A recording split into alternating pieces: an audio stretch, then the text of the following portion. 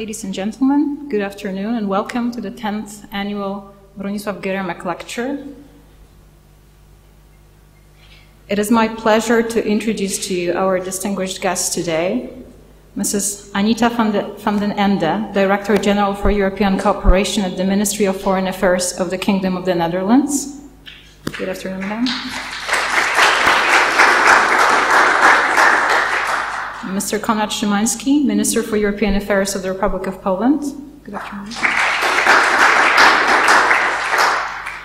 Dr. Wojciech Federczyk, Director of Lech Kaczyński National School of Public Administration, which is kindly hosting this event today. Last but not least, Mr. Piotr Arak, Director of the Polish Economic Institute, who will deliver a lecture titled The Balance of the Costs and Benefits of European Integration for the World After the Pandemic. Good afternoon. My name is Agnieszka Wincewicz-Price. I'm head of behavioral economics at the Polish Economic Institute, and I will have the pleasure of moderating the discussion later on. I would now like to ask Dr. Federczyk to take the floor.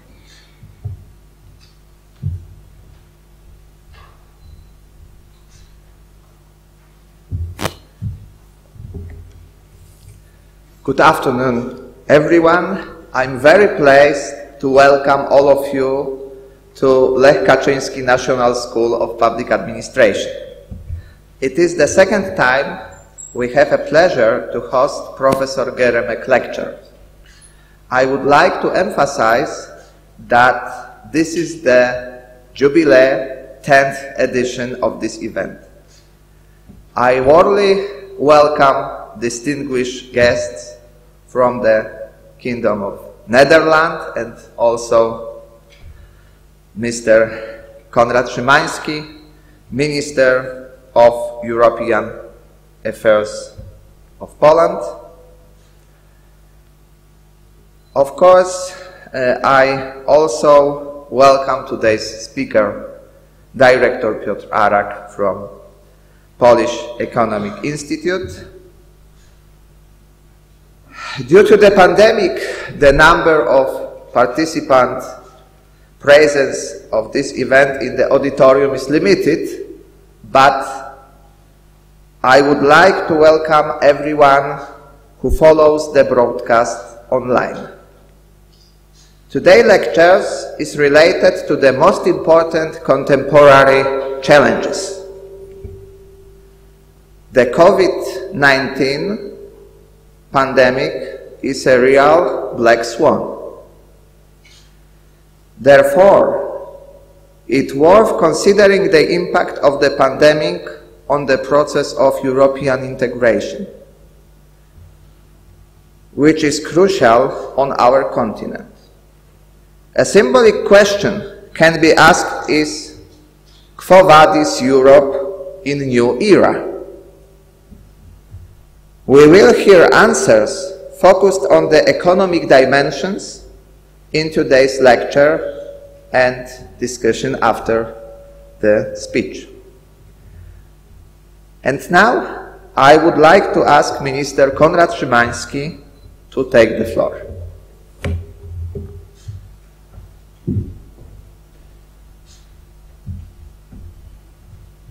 Madam Director Anita, uh, Mr. Director of the school, Mr. Director of the Institute, uh, it's a great pleasure for me uh, to have a chance to share with you some uh, welcoming uh, remarks. In fact, it will be one remark, because I will have a chance to comment a lecture um, after the delivery. Um, I think it's, uh, it's great that we can continue the uh, noble tradition. I think 10th uh, edition justifies such a word. 10th edition of the Professor Bronisław Geremek uh, lecture, together with the yearly consultations, Polish-Dutch consultations on foreign affairs, it constitutes our regular basis for consultation. There are a couple of reasons, good reasons to consult with Netherlands. I think, uh, especially after Brexit, we have a lot of common interest. We have a lot of things where we should find a better, even better understanding, of course, but, but what is most important is the fact that we, we have a lot of common uh, concerns and common, common interests.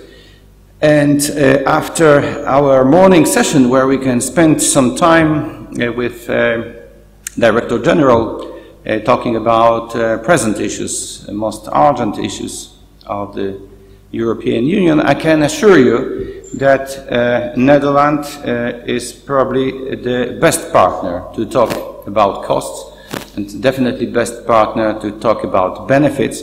So I think it is very wise decision to choose exactly this issue, a very present, very urgent issue of the way we want to finance EU and the way we want to spend money as a uh, EU. So I believe that uh, this is uh, the right format to discuss this uh, very hot uh, question almost solved, I would say, uh, question. But uh, this question will stay with us for, for much longer. I think it's, uh, it's, it's great uh, to have our Dutch uh, colleague uh, here, and you will see why I believe so after the lecture. Thank you.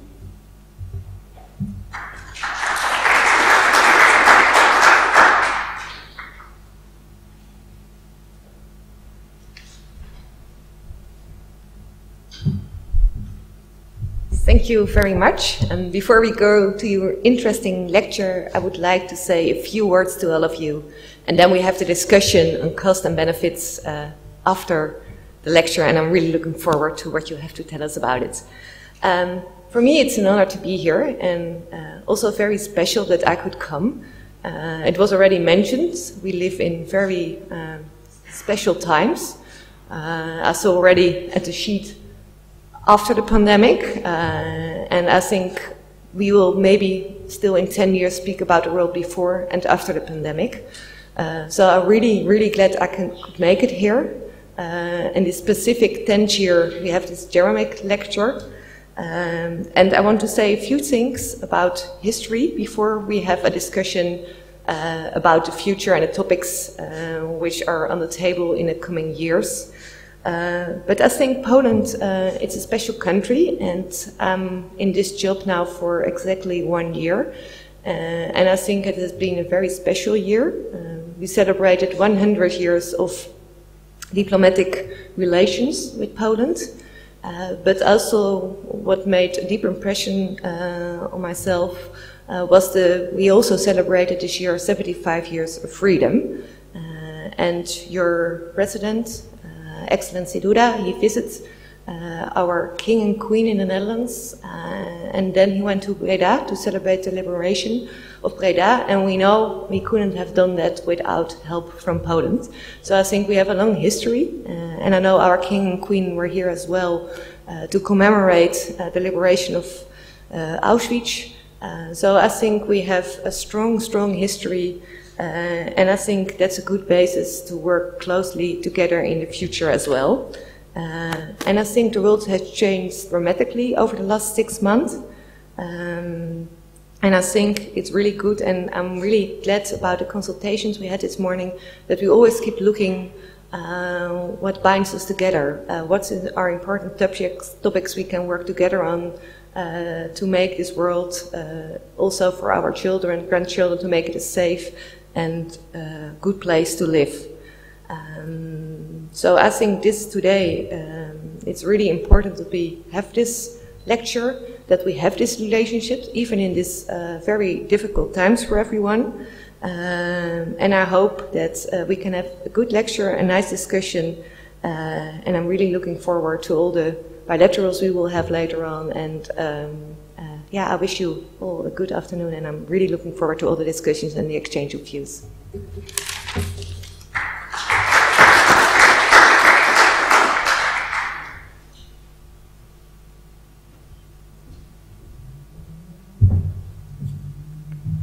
Thank you very much for the invitation. Thank you very much for the chance to speak with you. I'm just gonna change the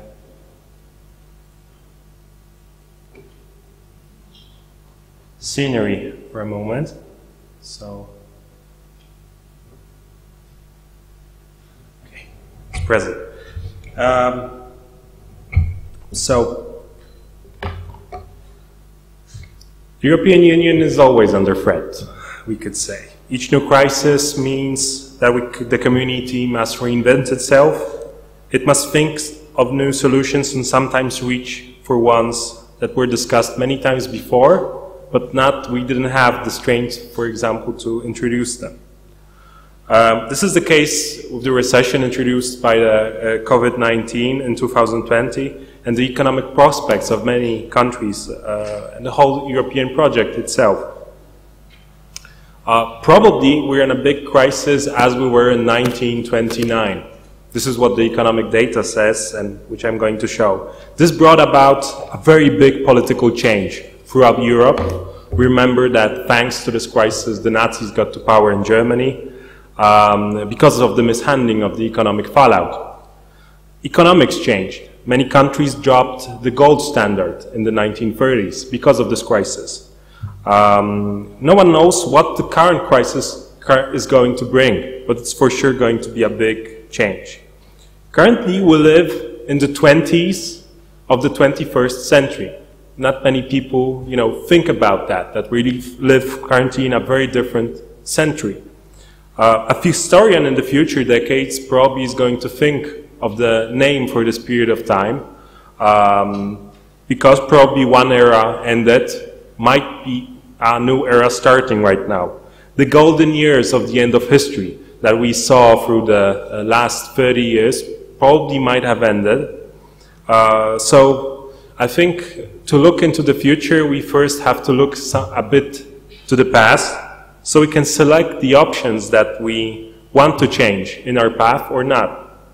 Uh, for this reason, I will consider the process of European integration for over the years, along what happened in the last uh, last periods of in the last period of time, and also what might happen in the near future, where we could have an enlargement, for example, with North Macedonia and Montenegro.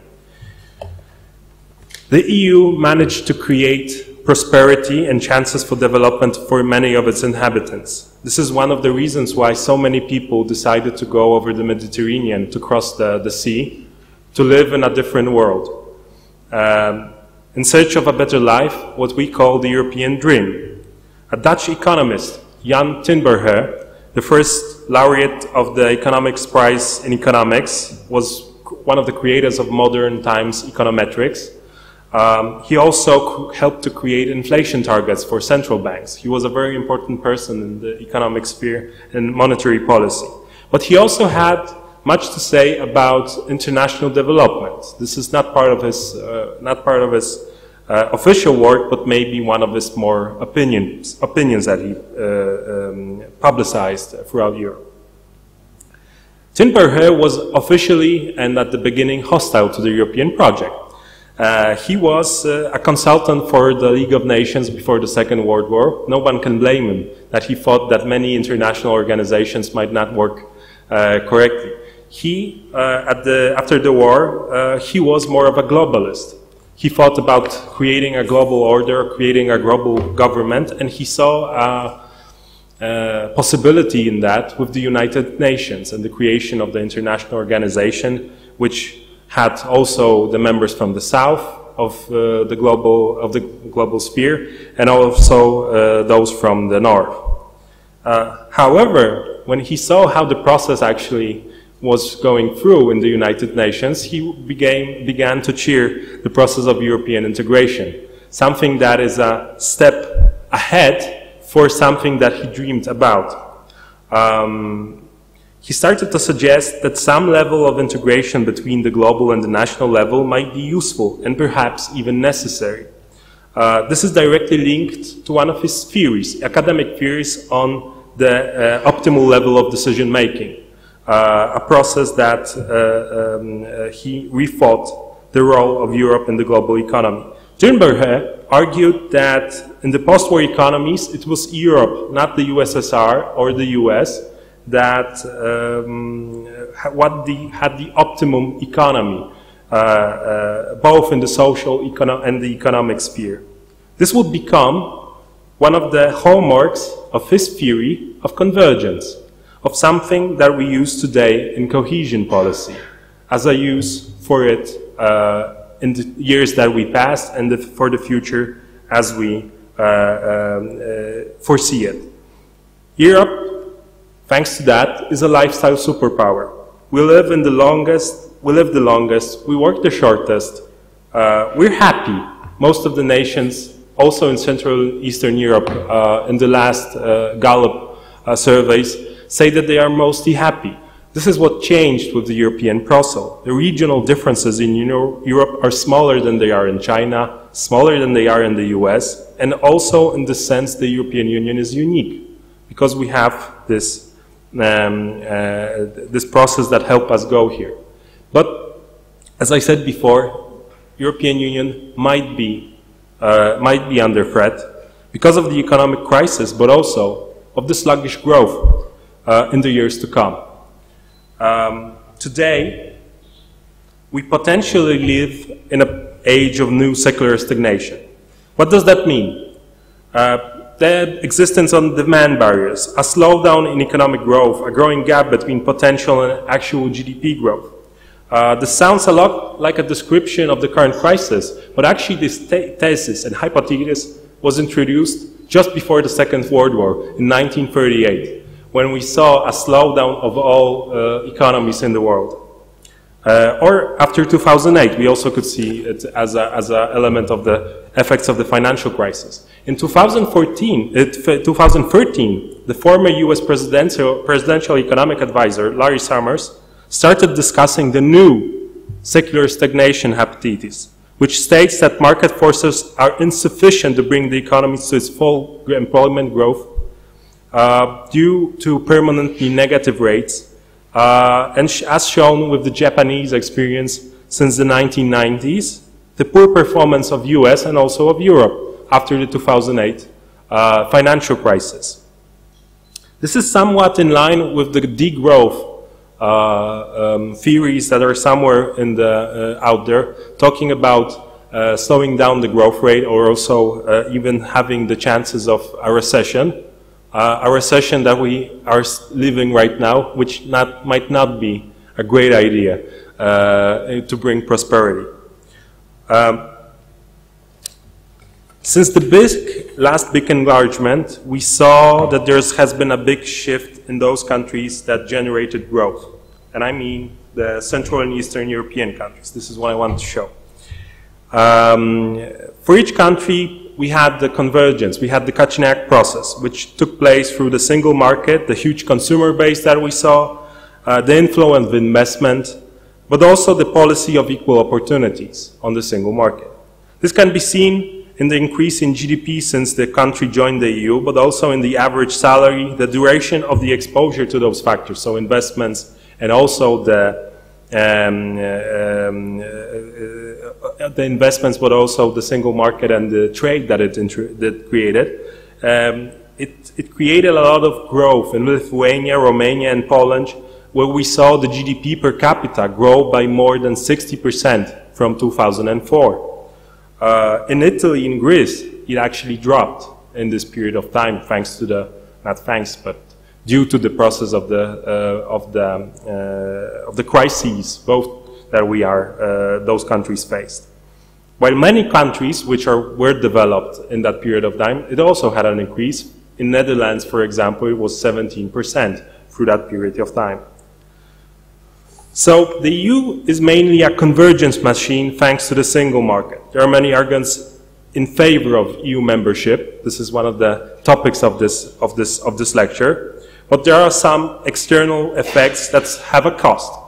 We always have to remember of that. For each country, as I'm going to argue, the, the costs outweigh the benefits, uh, even if some countries make, in my opinion, the wrong decision to leave, like the UK. The benefits of EU integration are multidimensional, cultural, economic, political. But it's not only, uh, the EU integration is not only limited to the single market it consists overall of, um, of the benefits of the single market, of progress in legal institutions, increase uh, the freedom and choice of consumers and producers, and also the freedom of businesses to roam around Europe. Uh, it also is crucial for achieving the comparable, comparable living standards across Europe. Many EU countries were not worried, uh, and I remember this discussion in 2004 in Poland and before uh, about EU membership. This was one of the uh, one of the uh, it was a political decision.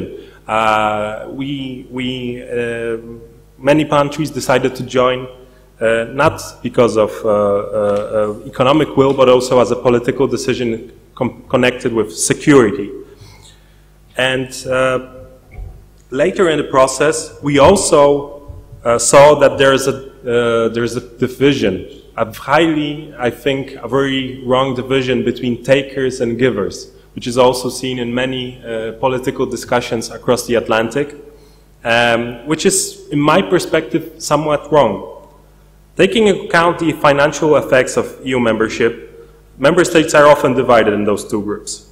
But as for example, Henry Ford, when he uh, decided to give uh, higher income, higher wages to his employees, he knew that this also creates additional trade, uh, additional uh, consumption, which is a macroeconomic effect. The economic impact of the 2004 enlargement provided the whole EU with significant amount of additional uh, money and additional value created for the economies uh, in the whole European Union. And we see at this chart that for uh, uh, Luxembourg, Austria, Belgium, Germany, and Denmark, uh, thanks to consumption and tax revenue, this was more than 6,000 euros per capita in each one of those countries. And even for Portugal, it was just 50, uh, but it's still see we see that the balance of of, uh, of the process of the old 15 was positive. Um, and even if we take into account the transfers uh, that were done through the cohesion policy and through additional factors, and also which we uh, uh, uh we pay, we can see that uh, uh, the balance is for most countries positive. this is taking into account the, the whole balance. So we see that Luxembourg is the least benefiting uh, economy. Greece, Belgium through this time was the least. But if we connect this with the economic uh, benefits of the enlargement, of the single market, of the cooperation and trade, uh, each country has a positive balance. Each euro spent by EU 15 countries in these terms um, creates additional uh, revenue for its economy and for its uh, uh, tax system. The largest ones in Germany, uh, in the UK, in Austria. And for the Netherlands, it was approximately more than, than 6 euro of economic value for each euro spent through this time. But th there are some additional costs. We discussed them very much uh, in Polish media for a long time. This was the, uh, uh, uh the, the emigration that happened in a lot of those CE countries. And in some of them, uh, the outflow of people uh, to Western economies after 2004 amounted for more than 10% of the population. This was the case of Romania. Uh, for average uh, in our group of countries, this was about 5% of the inhabitants that we had. In Poland, it was approximately 4%, according to Eurostat data. And at the same time, uh, Western countries saw an increase in the size of their population. So those people went somewhere. And um, uh, in Austria, 3%, and in Ireland, in Spain and Italy, uh, around 2%, and the UK, 1.5% of the inhabitants, those are quite big countries, uh, are coming from Central and Eastern co uh, countries uh, and from this, from, this, from this bloc. This was one of the, the costs. Another one that I'm, uh, and our institution is uh, quite famous for, I hope, uh, is uh, saying about uh, the problems of profit shifting and uh, on from east to west, but also around Europe and around the globe. this was another problem for our economies. the money sent to Central Europe by Western countries, why the budget pales a bit in comparison uh, with the profits that Western companies make from investments in dates. There's nothing, nothing wrong in making a profit. I'm, you know, I worked in business and I, I, I know that this is the proper way to do it, but as long as you pay the taxes that you owe in a country.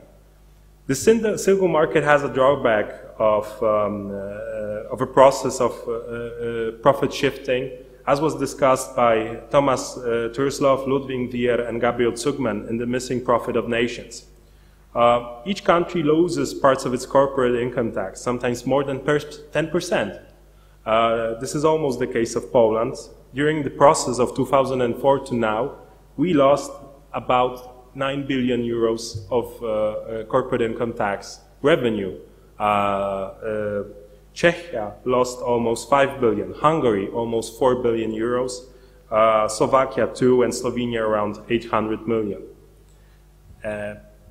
there are also those who profit, as Malta and Cyprus, which we also have to remember as we see at this balance sheet over here, where in those countries almost 80% of corporate income tax revenue is created through uh, transfers from those uh, from other EU members.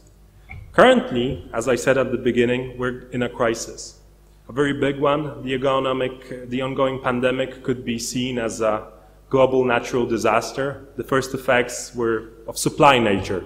We had the broken chains of value creation. Companies disappeared from the market. Um, people often couldn't perform their jobs because they couldn't work. We still have masks on today uh, as, a, as, a, um, as a reason for that. This is the, the difference between the current crisis and the financial one from 2008. The latter was of demand nature with, rather than supply. Exports and investments for first, which only led then to, uh, to layoffs. We had, or we could have saw layoffs at the beginning. The effects of natural disasters depend on the duration, and the same probably is going to be with the pandemic.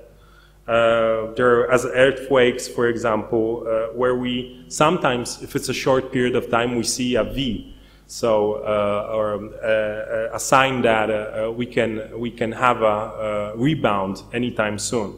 With long-term disasters, such as droughts, floods, locust attacks, for example, the GDP drop is quite, is quite high, and it doesn't take that short to go back in the period of growth. This is a L-shaped recovery, which we all fear.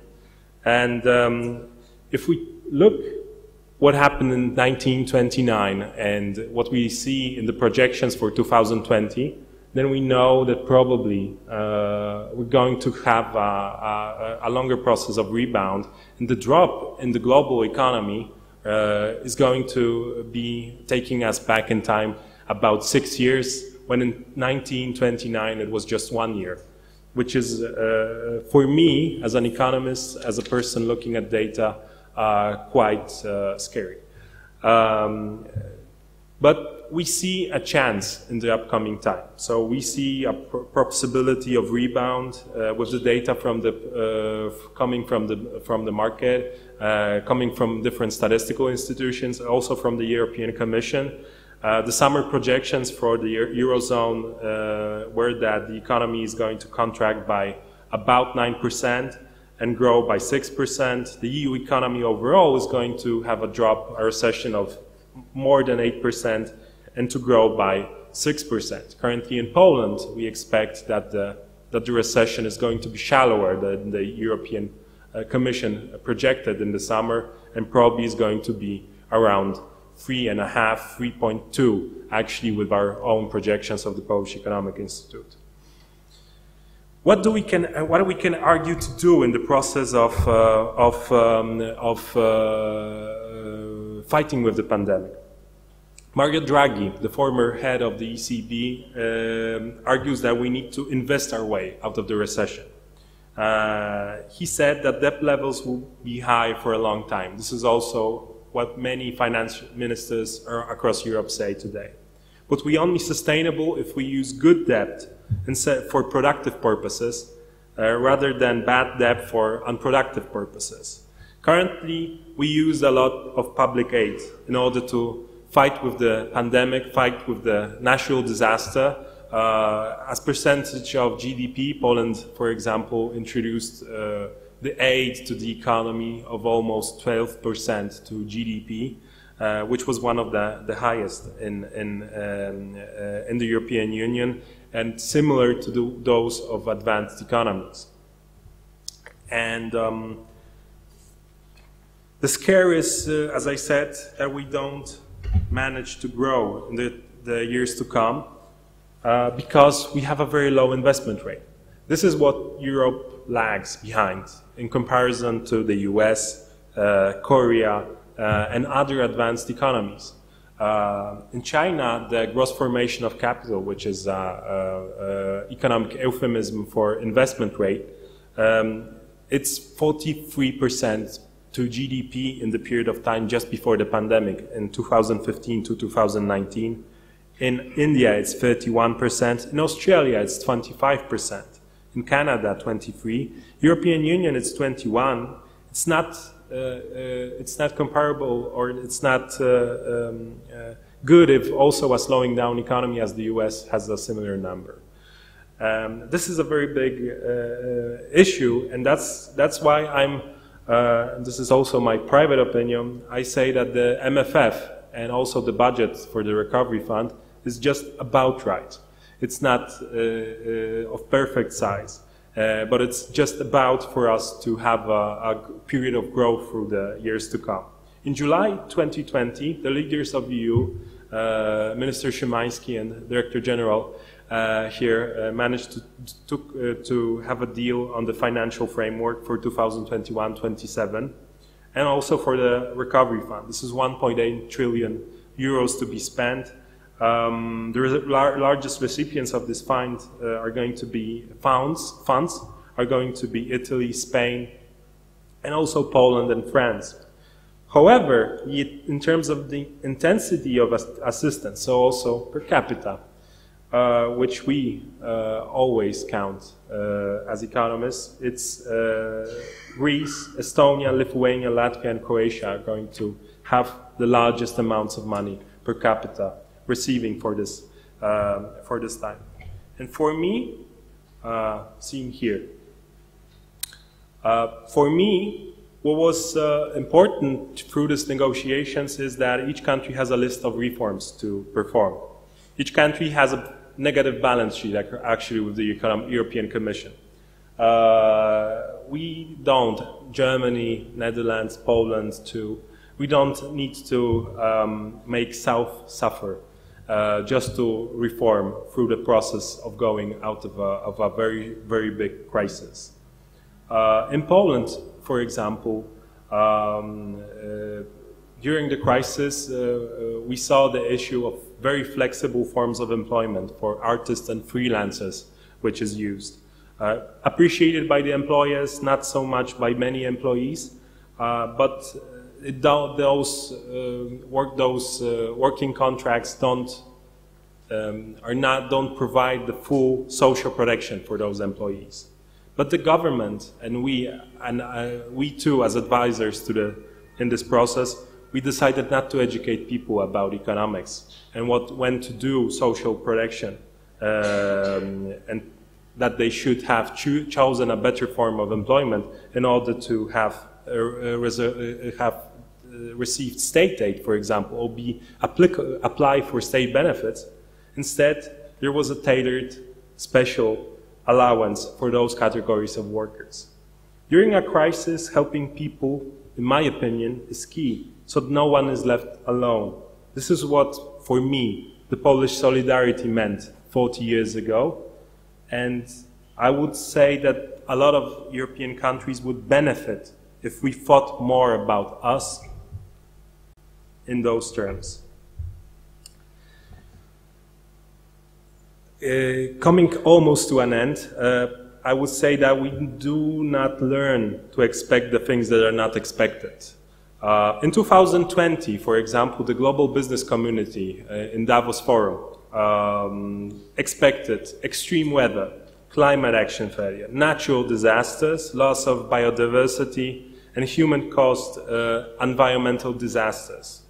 Uh, throughout time, after the crisis of 2008, we expected also economic uh, crises in 2008, 9, 11, uh, the problem of debt. Uh, we didn't see, uh, we saw the pandemics always after. So in 2015, after the Ebola outbreak, in 2009, when there was SARS, um, this wasn't on the table, although some pandemics were happening all around the world. Uh, as of 2011, climate, the green, the green bits in this chart here, was the most important thing that we saw as the global threat for Poland, for uh, European Union, and also for the United States. Um, these were the subjects of our interest. These were subjects that we were participate, we were uh, wanting to be um, ready for. Uh, we are increasingly seeing a risk of cyber attacks and technological malfunctions as one of those processes which we would, uh, um, uh, would have a very big impact on us. The biggest of impacts that we saw, so we saw, so the business community saw, was also climate action, weapons of mass destruction, and also a, a weather crisis. Uh, nowhere here we can see a pandemic that created uh, a recession that, seeks, uh, that uh, um, drove us back six years in the past of economic development. And this is why we need to think about the processes uh, uh, what we do expect and what we don't. As, as the director here said about the black swans and also some processes and uh, risks that are uh, of great threat. In 2020, also those people expected that the biggest importance was the clash between global powers. We see that. Uh, political polarization, extreme heat waves, and a cyber attack of something as the top five reasons why would have an impact on the, on the state of the economy of the world. What we didn't uh, expect uh, is a terrorist attack, attack, a state-on-state -state military conflict, a deep widespread of poverty, a currency crisis, which we actually kind of saw with the process of the pandemic, even a market collapse, of stock and other assets. And this was the, the risks that were, you know, having the least probability for 2020 as happening. And we went kind of through three of them uh, through this year. And um, uh, since the financial meltdown of 2008, we had the SARS pandemic in 2009, a double dip of the economic crisis in 2011, the debt crisis of 2012 the Russian aggression in Ukraine in 2014, and Brexit in 2016. This is, this is a long list which doesn't take into account the terrorist attacks, wars that are still being uh, fought around the world. And uh, if we are to survive as the fragile European Union, which is always in crisis, because there's always a crisis happening around somewhere, we must be solidary so that the membership still st stays positive, so, the membership and the balance of membership still is positive, as Jan Tinbergen believed.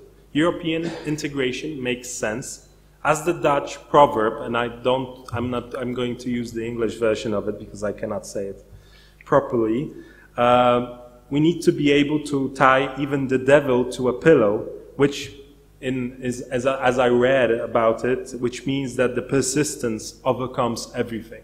So even if we have such great risks, those risks which we didn't put on the tables, we need to be persistent in analyzing the risks and adapting to those realities, as we did in 2020. We must remember our objective of creating a fair and solidary Europe. Thank you very much.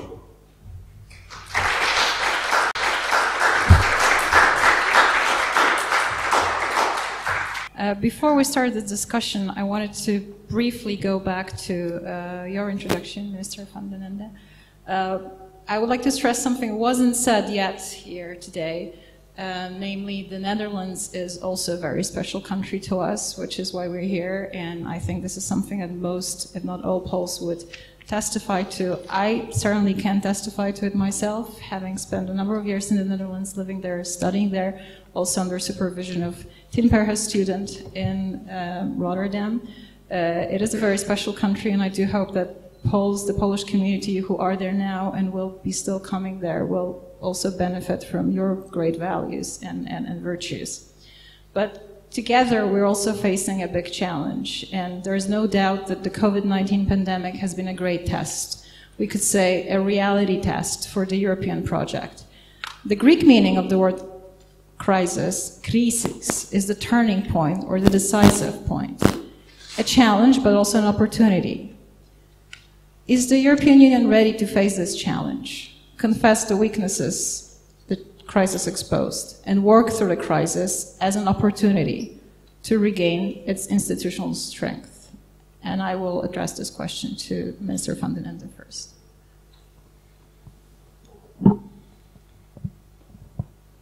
Does it work? Should work. Yeah, let me first start by thanking you for your very interesting lecture. Uh, I've really enjoyed it. Uh, and that may, um, I'm now working for the Ministry of Foreign Affairs, where but I'm an economist in background and work, having worked for the Ministry of Economic and uh, Economic Affairs and uh, the Treasury. It was really interesting. It feels, it felt a little bit like being back where uh, I've worked before. Uh, and I heard you say something about this is a, su a, supply crisis. I think it's a supply and a demand crisis, but we will not go into that for now. But it's really interesting what you wrote and what you said. Um, yes, are, am I optimistic that Europe can handle this crisis? Um, I think what happened in July uh, in Brussels um, gives reason to be optimistic uh, because we came from very different positions. Uh, we had tough negotiations. We were there for five days, but we managed. And we did something we've never done before in Europe. We managed to have an agreement on a recovery fund. Um, and we did things we've never done before. We have allowed that there be grants from this recovery fund going to other countries. Um, we have conclusions on the rule of law. We have conclusions on procedure. So, uh, yes, I'm optimistic in a way that we have shown common ground, that we uh, see that we need to help each other to work together. Um, are we there yet? No, we're still in the middle of the crisis. Um, we have some very important uh, topics on the table in the coming months, like migration, like, like climate. But I think that at least we have set this first and very important step that makes me hopeful for the future. Um, yeah, let's keep up the good work and working together as we did in the last couple of months. Thank you. Mr. Szymański, would you like to comment on this? Yes, I think we can start this debate with such a fundamental question, if, if we succeed or not. I, I, would, I would definitely uh, agree with uh, Anita's opinion that we have a success because it is an unprecedented situation where we could find, uh, maybe with some delay, but anyway, we could find a way how to form a, a relevant European uh, response to the economic, at least economic aspects of the crisis. And this response is not only about direct economic effects of the crisis, then we would address only the needs of uh, most affected countries or sectors.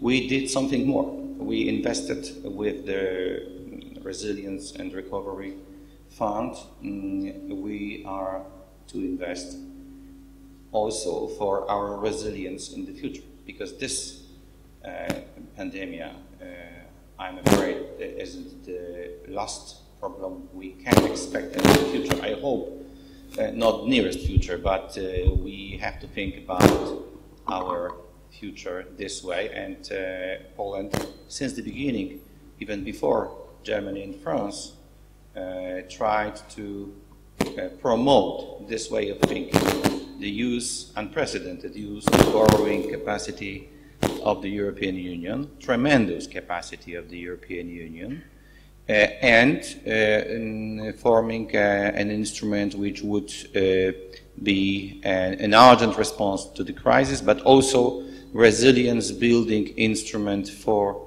uh, for the future. So it is it is something.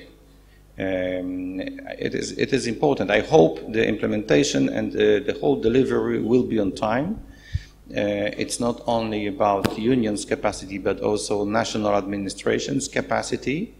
We used to uh, use instruments, well-known instruments, especially here in Poland, of agriculture policies, of uh, structural funds, etc. Now we have a plenty of new instruments and we have to learn very, very fast uh, the way we can use the new instruments. There is no model for this. But in general, I think we, uh, we delivered something important. We, uh, in May, um, before the, the whole negotiations uh, started, I mean direct negotiations, we also stressed the importance of the scale. Because uh, as we saw in one of those graphs, uh, the uh, highly integrated fiscal capacity of the United States uh, can't deliver such a, such a successful convergence uh, and growth in their own country. Our budget, so controversial, uh, in some countries is very, very small. Uh, if we compare it with the needs, if we compare it with the cumulative GDP, it's, it's very small. Uh, we, uh, in May, we stressed the importance of the scale because this uh, crisis and economic consequences of this crisis is, uh, is unprecedented. And we can't um, deliver any significant response with small money. It's, it's simply impossible. If you really need, if you really want to, to answer uh, to the crisis like this, we need uh, more money. And it happened. Uh, of course, the process was very shaky, very, very tough. I understand the, the, the, the reasons, but I think one of the lessons we have to learn from this experience, or the experience of the negotiations before and in July, is new narrative about cost and benefits of the union. Uh, I, am reading European press with growing concern. In many, many press, including Poland, to be honest. At the moment, it's not a hot issue, but one day it will be a hot issue. Uh, in European press, you can easily find uh, numbers about costs because it's easy to, to find a line in the national budget of contribution to the EU budget. It's very simple. But uh, this, is, uh, this is a budgetary problem because this cost is nothing comparing with the benefits we all have, including countries which would uh, uh find a reason to feel uh, um, most um, contributory to the to the budget. Uh, I think we have to find a new narrative and we have to deliver the message to, to our societies that contribution to the EU budget is uh, nothing important comparing with the benefits we can get thanks to the European integration. Otherwise, we are moving toward the blind alley. Uh, there is one country already there, uh, where people can't understand why it is so good to be in this uh, mechanism of trade integration, which is a little bit costly, maybe a little bit expensive, but it can benefit a lot. And in the end, in this uh, budgetary dispute, budgetary negotiations, there are no losers. It's a win-win operation, and I'm afraid our public opinion isn't fully aware about this fact.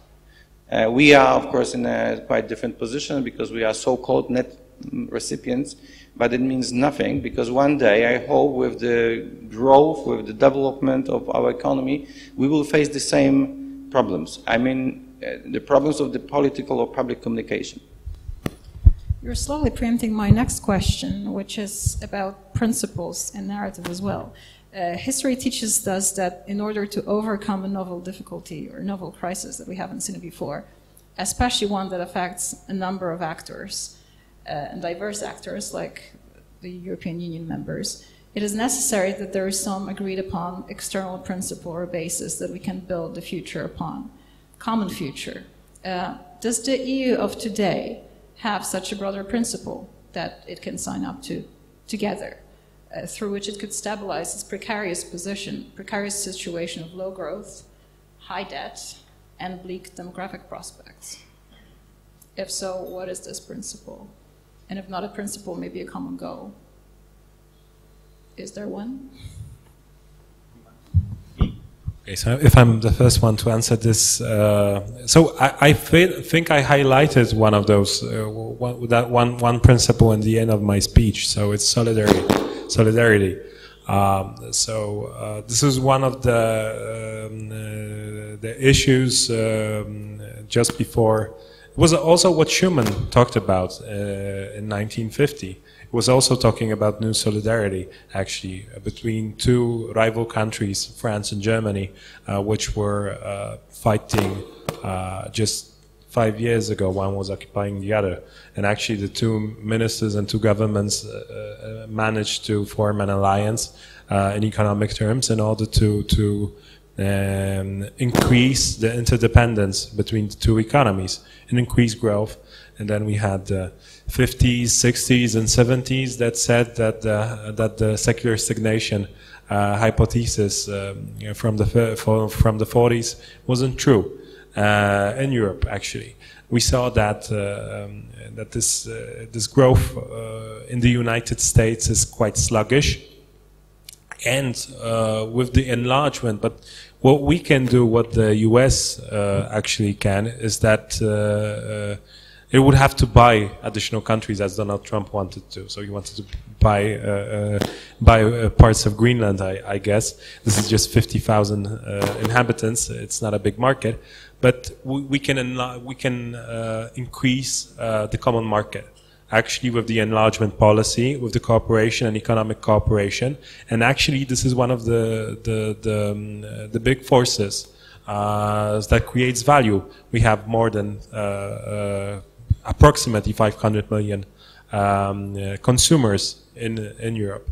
Uh, this is a very big uh, and important issue. And if we have an enlargement policy in the years to come, and if we have those institutions in place, and also those redistributive, um, uh, redistributive elements that will increase infrastructure, infrastructure meaning in the economic terms, not the brick and mortar, but uh, uh, different kinds of infrastructure, also uh, technological.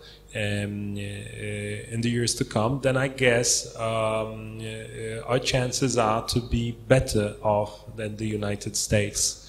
And as, as in the 60s or in the 70s, they would have a different kind of issues, also internal, which we won't see in the European Union uh, if we do this correctly. With the welfare economics that we have, with the redistributive effects which all of our nations have, and some as uh, you know that the uh, Netherlands has the best uh, healthcare system, in my opinion, in the European Union, uh, and also uh, it works in a very different way than it is in the United States, and that's why it works. Uh, and that's why a lot of a lot of um, European countries too um, actually managed to uh, fight with the pandemic uh, on a very efficient scale.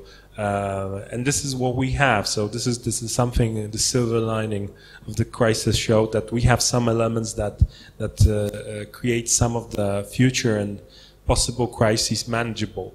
Uh, and comparing us, for example, as, as European Union to China or to United States, I think like if you're choosing a place to live, uh, and wanting to, you know, pursue a career, and I feel better off being here, and especially as uh, as um, as Europe has one of the uh, one of the um, uh, the, has the convergence machine, but also has an economic growth engine, which is Central and Eastern Europe uh, for the last years, uh, this was the the, the, the, region that spurred growth to Western Europe, not the other way around.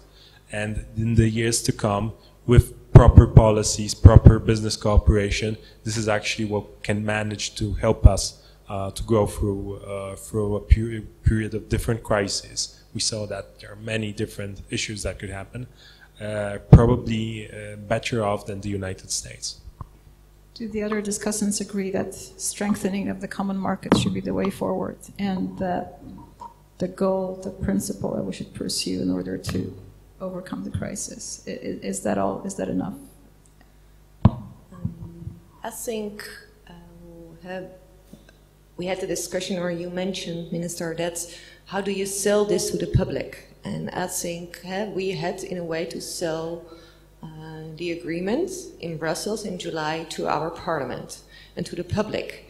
And I think there were two lines uh, my prime minister took to explain why, in the end, he had agreed to this deal. And one line, and that's very close uh, to what you just said, is that we, as the Netherlands and people in the Netherlands, benefit from a strong European Union. So that was the reason because if you, like three months ago, our parliament firmly said to my prime minister that they would never ever accept grants going to countries. Uh, and I think one of the storylines when we said we need to do this because we benefit from the internal market as Netherlands, we agree upon that. And my minister said over and over again when a country goes bankrupt, it won't buy our products. So we suffer from it. So that was in the end the way we said we need, we have to accept grants to make these internal markets stay there. We all benefit from it. Um, and I think also the other uh, argument you mentioned is the geopolitical one. We need a strong Europe. We are all countries and we only as a union we are strong in this very difficult world. So I think both the internal market, but also from the geopolitical point of view, um, we need a strong Europe. And I think that's for the Netherlands, but that's more in relation uh, to the way we look at the internal market. Uh, we once entered the Economic and Monetary Union. Um, the idea behind it was that we could have more convergence. Uh, and what we see that for some countries, um, it's hard to catch up with economic growth, and you showed it yourself. Uh, so that's why for the Netherlands it was very important that part of the deal uh, in Brussels were two elements.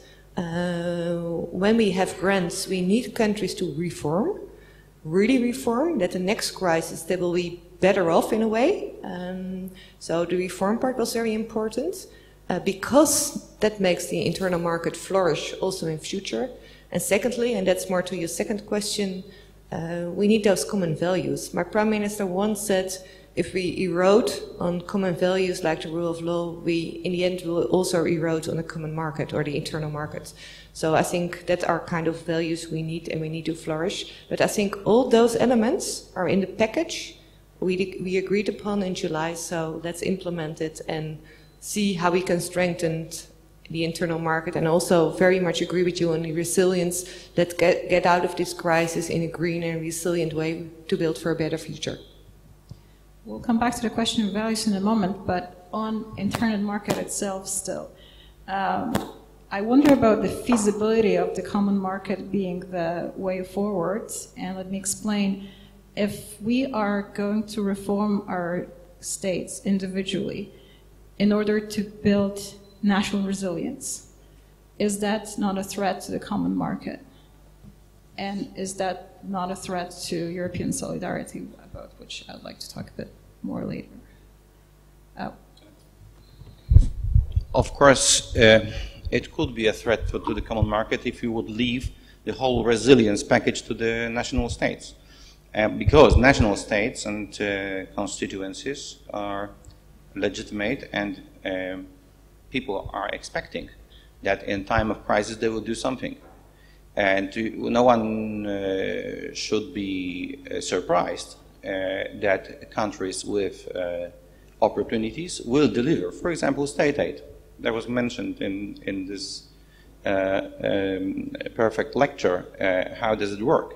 So that's why we should do our best as a union to offer a, a relevant answer to the crisis, not to leave national states without any sort of coordinated measures, coordinated uh, uh, aid, not only in terms of uh, financial transfers, but also regulation. Otherwise, of course, deterioration of the market is possible.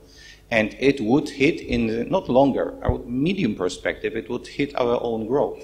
Because the tendencies to do it own way is everywhere. It is uh, rather unprecedented to have a common market like this uh, among 27 countries with such a deep trade integration, with such a, enormous harmonization of norms which are so favorable uh, uh, to the individual persons and small and medium uh, size enterprises. It is, of course, the only way to, to get this potential on board and use this potential, but of course this potential is bigger than we have today. We, did, we, we, we don't use a full potential of the common market. And this is another story we, we, we, we repeat. We are just uh, a week ahead of the Council, the European Council, dedicated to the single market, and probably together we will repeat the same story. We need uh, elimination of barriers. We need deepening of the market. We need to complete market where it is not completed. We have to confront the protectionist tendencies. I fully understand why people in stress uh, looking for solutions which would be protectionist, but we have to confront it because it is uh, it is wrong answer for the real problem, but definitely wrong answer in the longer term. The potential of the market is still huge, so we can do a lot.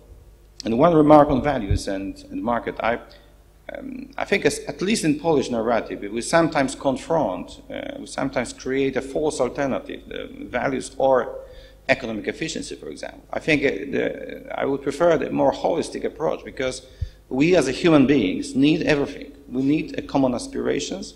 We need more or less common imagination about our role in the society, the society we want, more or less inclusive. And in the same time, we need security, we need prosperity we, we shouldn't divide, we shouldn't uh, definitely confront those two things.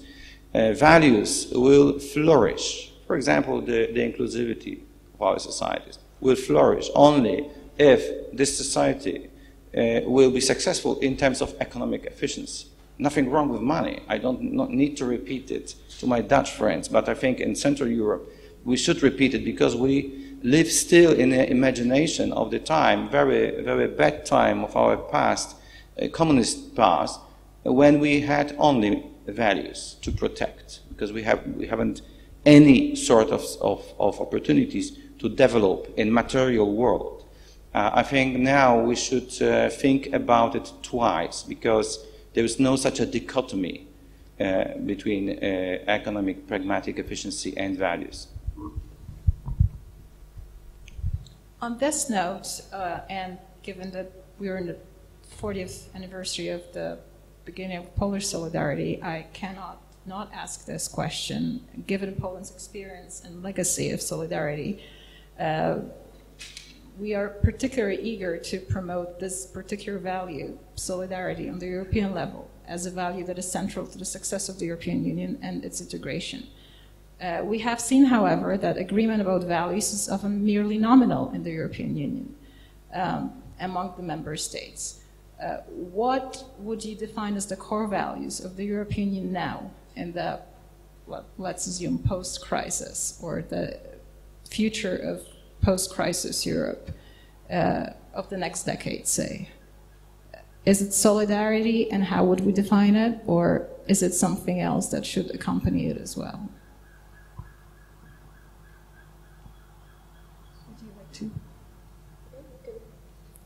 Yeah. Okay, uh, that's a diff difficult one. Uh, because I, I just named one, and uh, you want me to name more. Uh, we can is, elaborate on this one too. Yeah, we can elaborate on this one. So um, I guess it's you, you know this is um, what the European Union managed to do is create a very uh, pragmatic economic policy, going back to uh, one of the, uh, the things I talked about.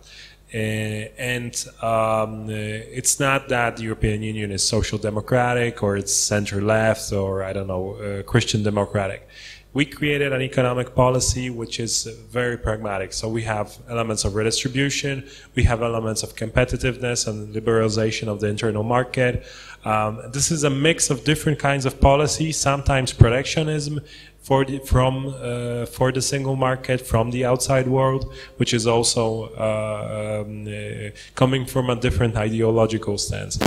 And from from this point of view, uh, I guess it's why it works. So uh, we tend to uh, create institutions that work well for a very long period of time, and if we cannot think of something working better and agree about it, uh, we don't change it. So uh, this is something very interesting about European Union, uh, why it works basically for so many for so many years.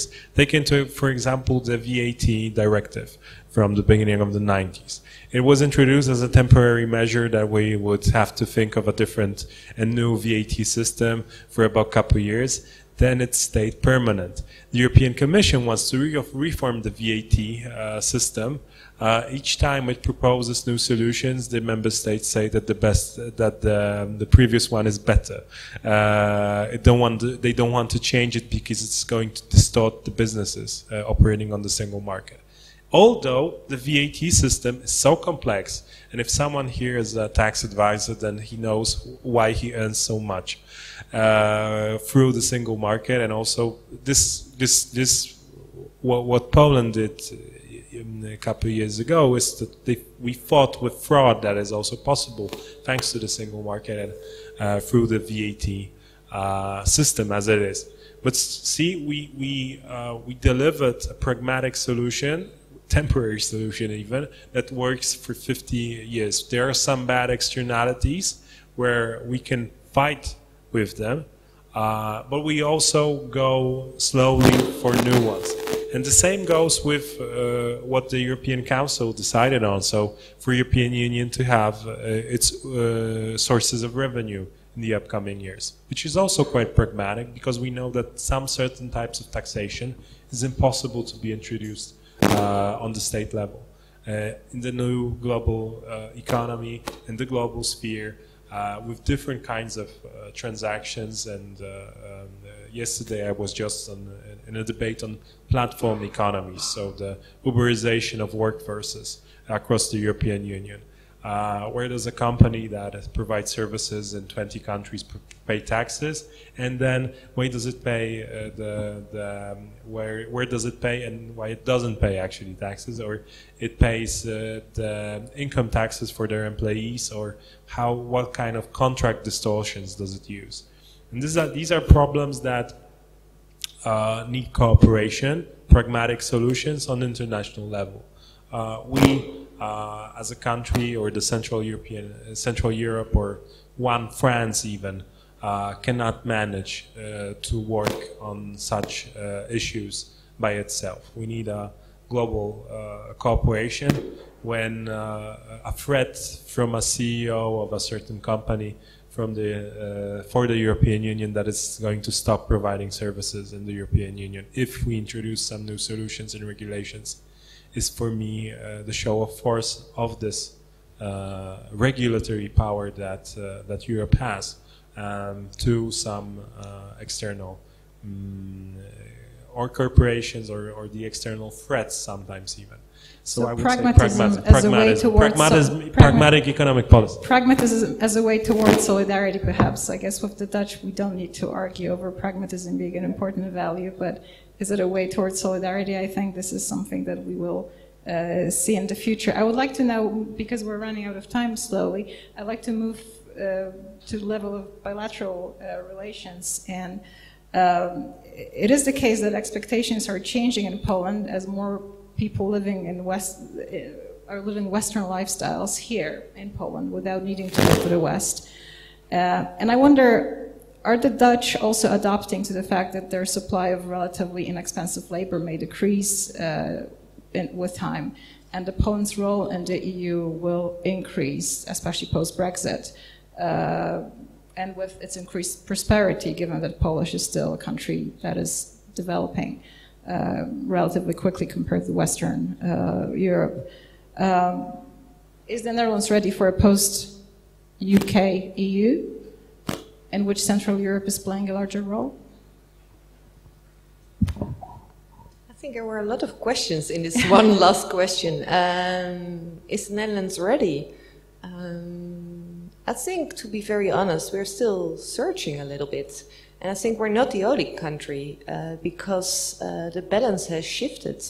Uh, a country very close to the Netherlands, it's, we can, in, on clear days, we can almost see it, uh, which we have been working together with for a long time. Uh, yeah, it disappeared from the from the European Union. I think this summer showed that everyone is looking for new partners, new coalitions. Uh, who are my new friends? Uh, do we have more friends? What's the right balance?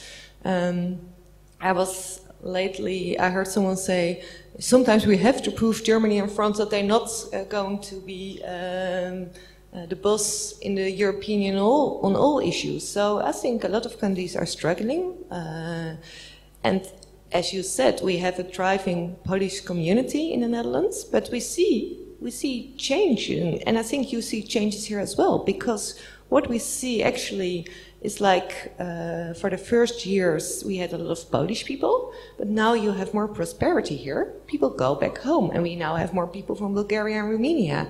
Uh, and I think maybe in a couple of years we have more people from the Ukraine. Uh, but but that's that's I think that's a different issue, um, and I think also for Poland, you cannot do without seasonal workers. We can do without seasonal workers in the Netherlands as well.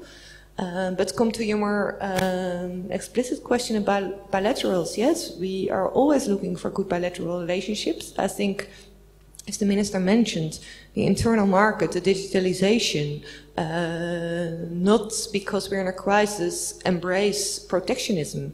I think there are a lot of issues the Netherlands and Poland completely agree upon. I think there's economic issues about deepening and the completion of the internal market are really uh, ways forward. And I'm really looking for good cooperation on those issues, but also on other issues like climate change. We always have to see, okay, what do you need to make this change there? What do we need in the Netherlands?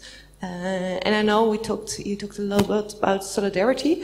Um, I know that uh, in the Netherlands it's often said that, of course, solidarity is important, but solidarity gives the other person receiving the solidarity also a kind of responsibility to act well upon it.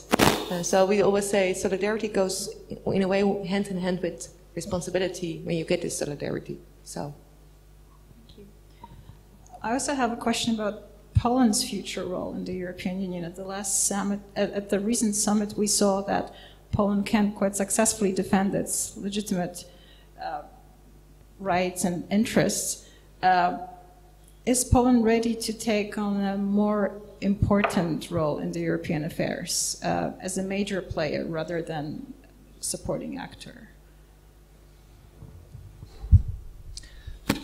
I think, uh, especially after Brexit, uh, we have to reconstruct the internal architecture of the Union, uh, not because of theoretical models, but because of the needs, the real needs. And of course, the needs we have together with Netherlands are obvious. We, at least we, afraid losing the right balance of interest, the right balance of regulatory approach to the new uh, challenges ahead of us, we afraid protectionism in internal market and externally.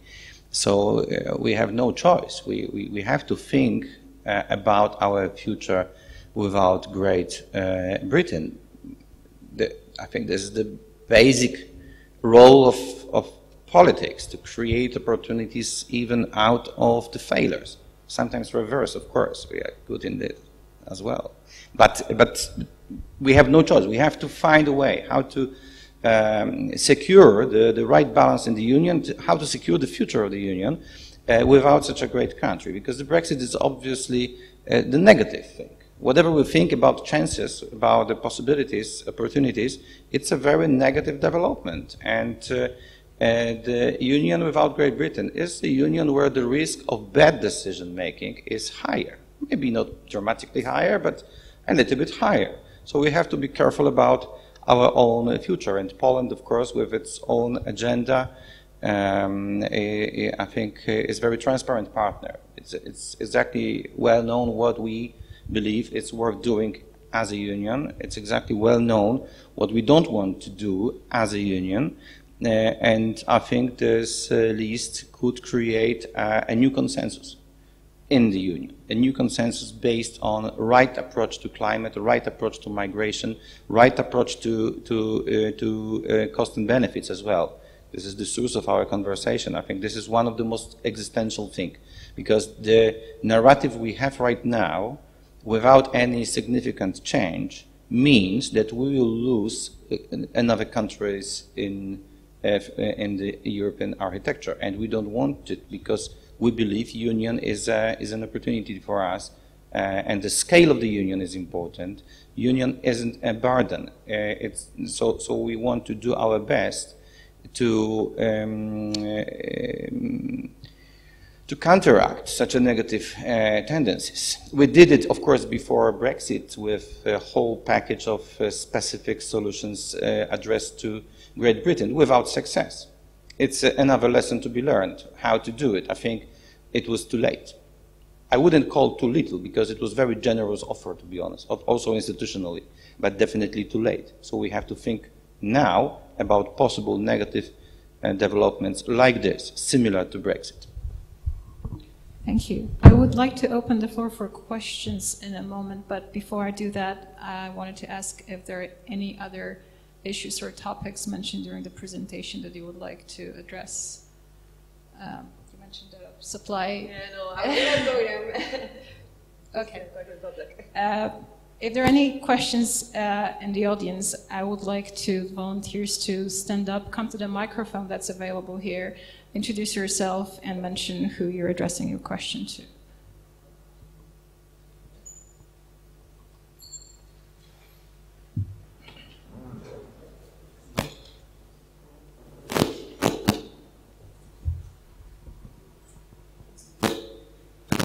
Okay. Hello? Okay, thank you. Dzień dobry panie dyrektorze, dzień dobry panie ministrze. Goedendag, directeur generaal. Uh, dank u voor uw aanwezigheid uh, vandaag. Uh, I wanted to ask about the investment on the financial markets, the question towards you, Mr. Director. you mentioned that you have this problem of return on investment, and it's, I think it's not a new problem. Uh, we already had a problem with uh, capital uh, capital in the EU beforehand. Do you believe that perhaps we could use the COVID pandemic and the environment, which may lead to some substantial changes in the European architecture to, well, improve the amount of investments inside the European Union? Do we need, uh, for instance, more regulations or fewer, less regulations? Is there some way to make use of the situation, not only to get back uh, our economies uh, on their feet, but also to improve uh, uh, their capacity for international trade and investment in that aspect. Thank you very much. It, it was for me, so um, that's a very difficult issue. So uh, we know that the, the, the, investment rate in the European Union was lower than another developing as, as China uh, economies throughout the years. So um, this, this is an issue. We also see a disparity uh, between the European countries in terms of the investment rates to, cap, uh, to GDP. Um, uh, this is also uh, this is also a, a, problem. Many economists in Germany currently are calling for the German government also to use this process of uh, development, as we know from Olaf Scholz Germany is going to run a deficit for the next four years, uh, which is something unseen in German economics uh, for a while. So um, uh, the, the, consensus uh, among uh, economists uh, is, I would say, to use this period of time in order to have a, a, higher growth rate in the coming years. And that's why I was so underlining the investment uh, because investments in, in the current economy it doesn't mean uh, brick and mortar uh, processes. It also means high tech. It means non-material, um, uh, uh, non-material software, non-material robots, and automatization. This is what also many people don't get that the automatization of in the economy it's mainly software-wise. It's not based on building robots that are going to take away people's jobs. It's it's sometimes many uh, many different kind of um, uh, endeavors and non-material kinds of um, uh, uh, works, we, we, we have a difficulty counting the value of those things, but the reason, uh, the important, uh, the important um, recommendation is that when I was citing, for example, Mario Draghi, is to invest a way out of the crisis. Uh, Mario Draghi says that this crisis, and if you if you do the if you see the data, uh, you also agree that this crisis is like Second World War in terms of what it does to the, many of the economies. Uh, we managed to um, uh, take the the costs of the uh, of the crisis from the private to the public in terms of the increase in debt. Uh, so the households wouldn't wouldn't have to be in debt in this crisis because it would be more, more costly and this process would take a hell lot of more time to recover than it when it's the public uh, debt. Uh, but it also means uh, um, uh, that the, the process of going back to the normal period of economic growth, growth as in 2019 is going to take a long time. It's not that we're going to have just a recovery in 2021. It's going to be a very long process of redevelopment. That's why the that's why I said that the EMFF is just about we need more. It's it's the it's, it's in terms of having a, an average growth rate higher. We mean we need more money. Uh, because if so many countries are in debt because of the crisis, uh, Poland, uh, the, the general government debt in terms of the European uh, Statistical Office uh, definition is going to reach a number uh, higher than 60%. Uh, the G German economy is going to have a, a debt rate in the general um, government of more than 80% in order to drop down the debt levels, we're going to need to um, have a very, very rapid recovery. And this means rapid growth. There are other ways to go down with the debt. Uh, with debt, uh, none of them uh, we would like uh, in this in this situation. But this is because this is taxation, war, uh, inflation, and um, some other means which are also not not nice as as cutting the spending uh, of some of the welfare policies or the public aid sometimes uh, to some sectors that we also enjoy in the European Union. Okay, let's cross our fingers then for the growth. Thank you very much. Thank you. We have time for one short question if there is anyone who would like to ask. No? Okay. Thank you so much to all the panelists for the nice discussion. Thank you for your presence. Thank you very much.